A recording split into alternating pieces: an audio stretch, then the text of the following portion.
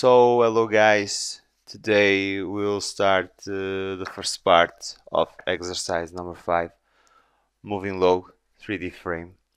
Once again I will uh, follow the steps shown here on the training manual book. First of all, we'll have to select the three-dimensional uh, structure icon shown here. It's different because this is from a previous version of robot. And select the European section database. Let's do it. Okay. Let's go to more. There we go. Frame 3d design. Okay. Let's make sure that the database is correct. Job preferences. Database is still in timber. Okay. Europe database. Let's go to bars. Over here we'll have to first of all go to bar type pick column. I need the IPE 600 I don't have it. I'm going to define it as you may see. Okay add. Now we'll draw this by typing the coordinates. I have already told you that this is not the best way to define uh, bars but it is as it is in the book as you may see in the step over here into the file coordinates in the beginning and field. Let's do that. Minus 800 and uh, minus 807 press enter. And now minus 807 minus 80 14 okay press enter once again. Now go to the bar type and select beam. And we need an IPE 240 I don't have it here so I'm going to press this button to define it. For here go to IPE and select the 240 add.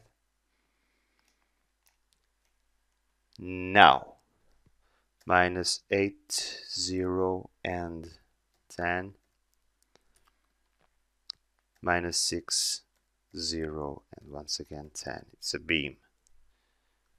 Supposed to be in the same horizontal line. Okay now let's go to the bar type and select simple bar. Now we need an UPN 240 press this button here and go over here. UPN 240 add. Close. Now minus 808 and minus 6010 press enter. Uh, now we need to define the,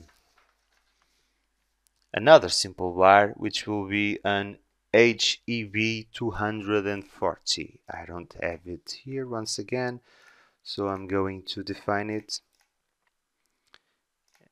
Press add close. The coordinates will be minus 8 0 14 and 0 0 16 press enter. Okay there we go.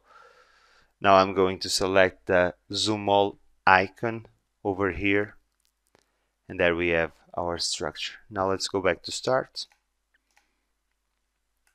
Okay. I'm going to go to geometry menu additional attribute and pick brackets. I've already told you that brackets are used in a structure to increase the rigidity of a structure bar in node zones. I'm going to press the new bracket and in the length field I'm going to enter 0 0.15 and leave the other options as they are. I'm going to press add and close. And now on this bracket over here I'm going to the bar field. Set the bar number 5 let me turn on the numbering and press click over here and there we have our bracket defined okay? Now let's close this and apply the supports. Let's go to the supports options over here pick fixed and select the lower node and apply. There we go. Now we go back to start and we are going to do a vertical mirror around this axis over here okay?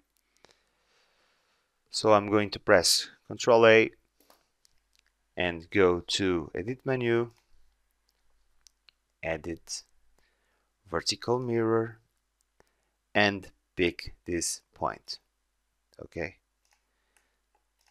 Uh, there we have I'm going to press just a zoom all just to see and to see the section. Shapes over here. This is as it is defined over here okay? So in the next uh, video we are going to define the structure loads. Uh, once again thank you for watching. Please subscribe and uh, please come back for the next part